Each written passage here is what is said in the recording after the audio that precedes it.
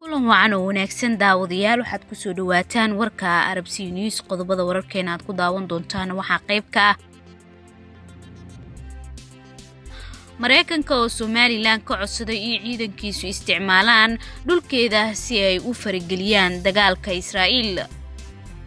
taalibaan oo war ka soo saartay xilli la sheegay inay dagaalka xamaas iyo israa'iil ku biirayso. Madaxweynaha urdugan oo loo diray codsi ku saabsan dagaalka xamaas iyo israa'iil qodobada maqlayseen oo faahfaahsan ku soo dhawaada waxaan ahay safiya maxamed ibraahim. Waxaad nagala socotaan oo warkan inkaga imanaya magaalada muqdisho. Aan ku bilaabe kadib markii dagaal ka dhex qarxay israa'iil iyo ururka xamaas ee falastiin ayaa waxa ay dowladda maraykanku ka codsatay somalilan inay ogolaasho u siiso in ciidanka cirka ay maraykanku adeegsadaan dhulka somalilan. Ma jiro war rasmi ah oo dowladda maraykanka iyo somalilan ku shaaciyeen arrintan balse warbaahinta ribal hon news ayaa baahisay in dowladda maraykanka ay somalilan ka codsatay in ciidankeedu isticmaalaan dhulka faragelin ku sameyso xaaladda ku soo korodhay bariga dhexe gaar ahaan dagaalka u dhexeeya ciidamada israa'iil diinta xamaas ee ka socda magaalada khaza warku waxa intaa ku darayaa inaanay weli dowladda somalilan ka jawaabin codsigaasi ilaa haddana uu maraykanka ka sugayo jawaab rasmi ah xogo dheeraada ayaa tibaaxaya maraykanku uu doonayo inuu garoonka diyaaradaha berbere u adeegsado daabulka taageero militari oo la wariyey inuu gaarsiinayo israa'iil madaxweynaha maraykanka john biden ayaa markii uu dagaalka qarxay sheegay in israa'iil ay garab taagan yihiin waxa ay taageero uga baahan yihiin ay gaarsiinayaan xitaa haddii loo baahdo ciidan ka barbar dagaalama ciidamada israa'iil ee la dagaalamaya ururka xamaas iyo kooxda shiicada ee islaamig jihaadka ee dalka lubnaan fadhigoodu uu yahay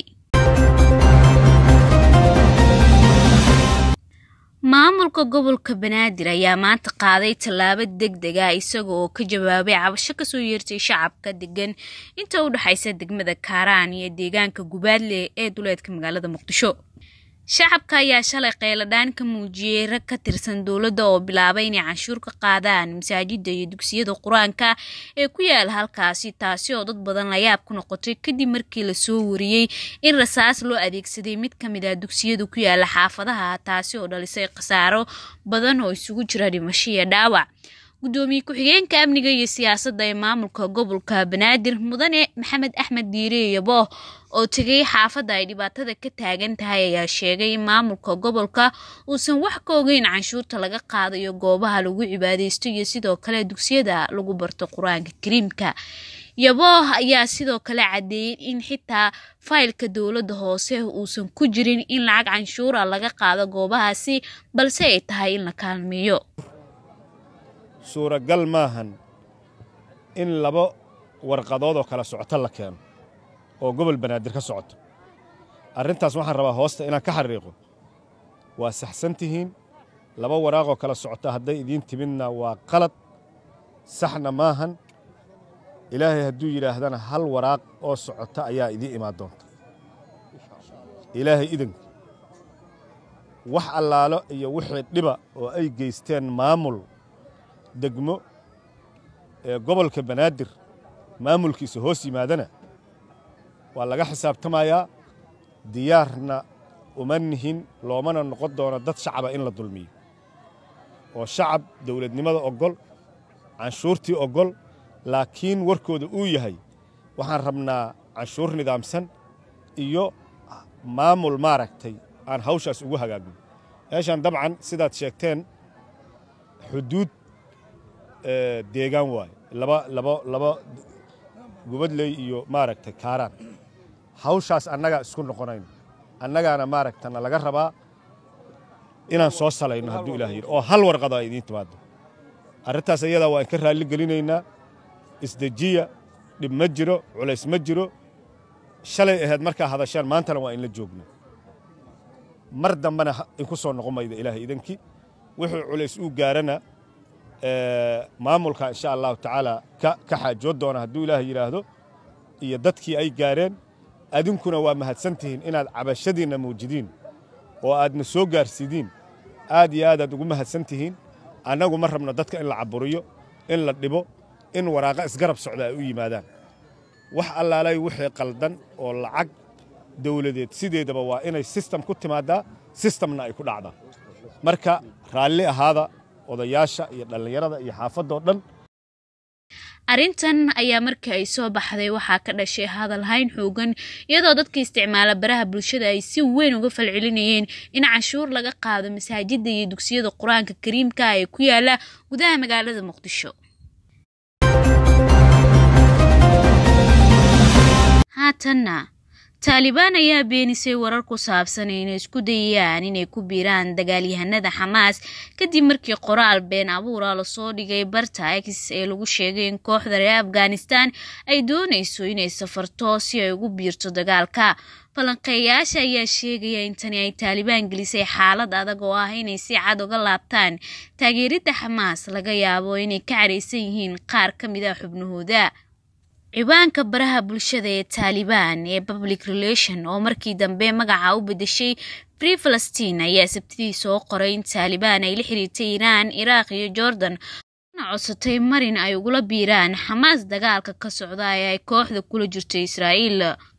qoraalkan oo la daawaday in ka badan laba dhibic shan milyan oo jeer ayaa waxaa sidoo kale qaatay qaar ka mid a warbaahinta madaxda xafiiska siyaasadda taalibaan ee doha maxamed saahil shaaheen ayaa koox wariyaala uu ku jiray gruub whatsapp a u sheegay in warkan uu yahay mid aanan saxayn. Sax ma ahan ayuu qoray isagoo ka jawaabaya su'aal. Waxa uu intaa ku daray waa warar kuturkuteen ah mana ahan war xaqiiqo ah. Afhayeenka taalibaan sabiixullah mujaahid ayaa u sheegay v o eda in wasaaradda arrimaha dibadda taalibaan ay soo saartay war-saxaafadeed islamarkaana mowqifkooda uu weli sidiisii yahay. Bayaanka wasaaradda arrimaha dibadda ee taalibaan oo la soo saaray sabtidii ayaa lagu sheegay inay si taxadar leh isha uga hayso dhacdooyinka ka socda khaza imaaraadka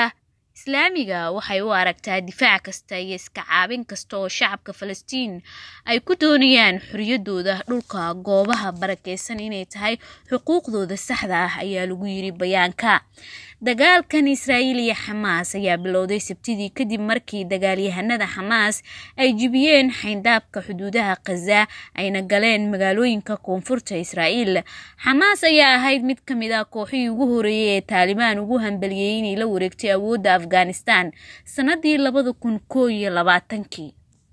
Haatanna madaxweynaha mareykanka ee john biden ayaa dowladda turkiga iyo madaxweyne rajib tayib erdogan ku booriyey inay kala shaqeeyaan sidii loo dejin lahaa xiisada ka dhex oogan falastiiniyiinta iyo israa'iil. Madaxweyne biden ayaa turkiga weydiistay inuu gacan ka siiyo xal u helidda xiisada sabtidii ka dhex qaraxday labada dhinac sida lagu sheegay bayaan ka soo baxay wasaaradda arrimaha dibadda ee mareykanka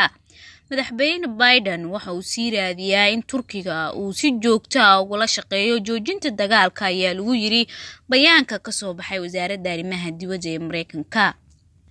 Xogeyaha arrimaha dibadda mareykanka antonio oo qadka telefoonka kula hadlay wasiirka arrimaha dibadda ee turkiga haakan ayaa sidoo kale ka codsaday in ankara ay sii wado ka qayb qaadashada joojinta weerarada xamaas mareykanka waxa uu dhankiisa diiradda saarayaa sidii xamaas ay weerarada u joojin lahayd loona sii deyn lahaa dhammaan lahaystayaasha ayaa lagu sheegay bayaanka.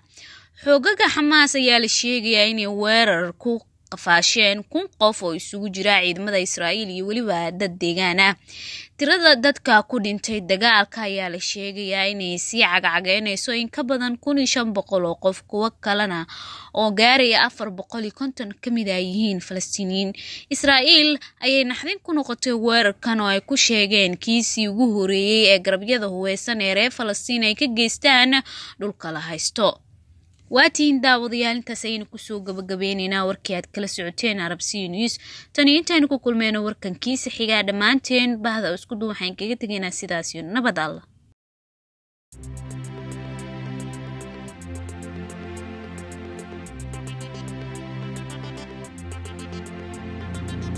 ma ka mid tahay xoolodhaqatada soomaalida ee doonaya inay dar yeelaan xoolahooda? Inaad xoolahaaga u hesho calaf nafaqa leh oo qiimihiisu uu jaban yahay waddanka gudihiisana diyaar kugu ah. Hore u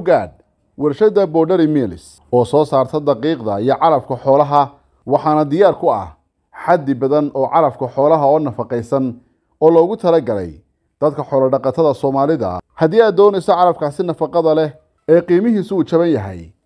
hore u gaadh boodhari duleedka galbeed ee magaalada hargeysa gaar ahaana deegaanka abaarsa